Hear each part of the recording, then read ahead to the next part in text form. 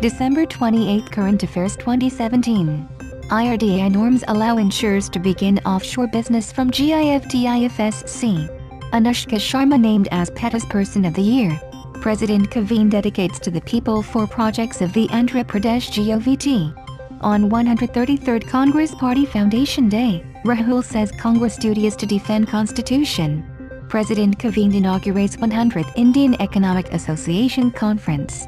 Anisa Sayyed wins women's 25m pistol gold with new national record. India to overtake UK, France to become fifth largest economy in 2018.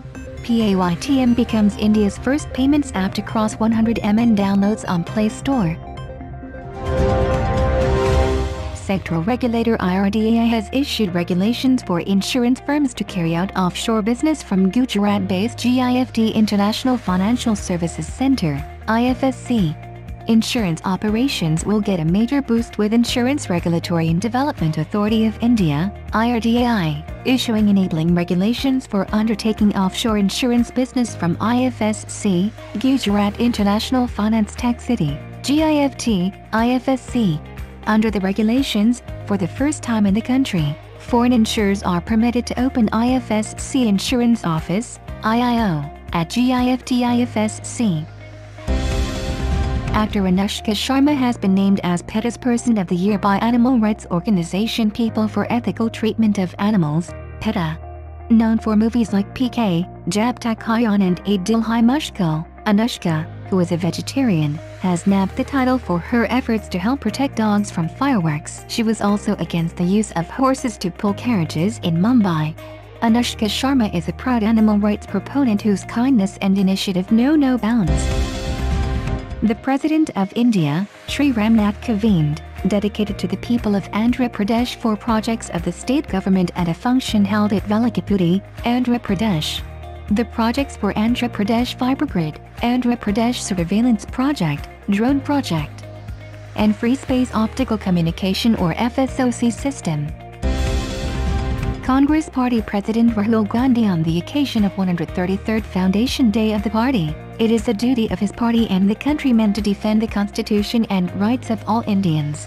The Congress Party was jointly responsible for bringing independence to the country, as well as in drafting the constitution that confers equal rights to all citizens, but that it has come under attack by the ruling Bharatiya Janata Party, BJP. The Congress Party was founded on December 28, 1885. President Ramnath Kovind inaugurated the 100th annual conference of the Indian Economic Association at Acharya Nagarjuna University in Guntur of Andhra Pradesh. The event will be held for four days.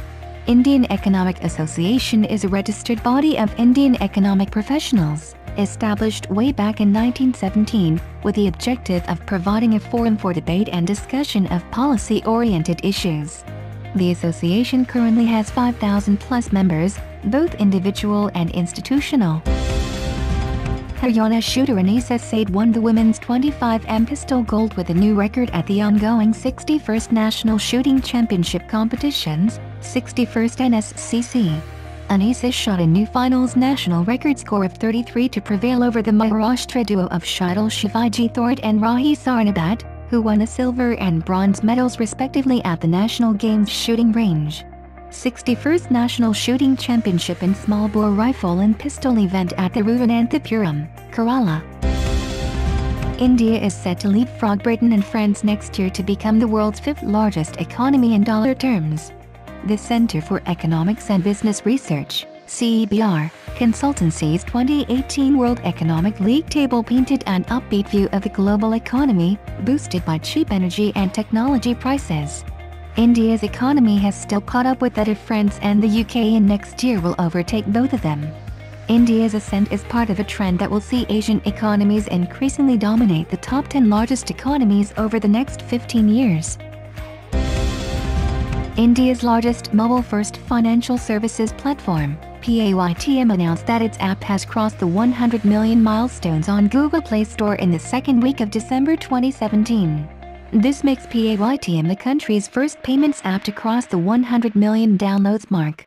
The platform allows users to do online recharges and bill payments, book movie tickets, do travel bookings among others.